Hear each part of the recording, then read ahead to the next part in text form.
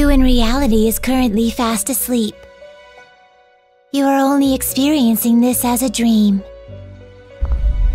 This place exists between dream and reality, mind and matter. You truly are a prisoner of fate.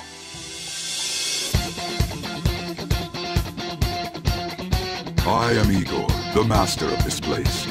To your right is Caroline. To your left, Justine. Allow me to observe the path of your rehabilitation. You can handle more than one persona. That power holds infinite possibilities. We will assist you in nurturing that potential.